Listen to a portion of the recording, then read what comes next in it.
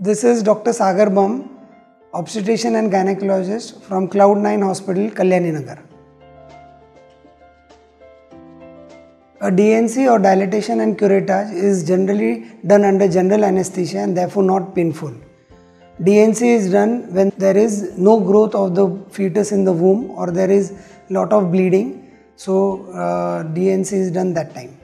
The D&C is done under general anesthesia where the anesthetist will give you some injections through the IV and you will be sedated and there will be no pain at all. So don't worry for the pain.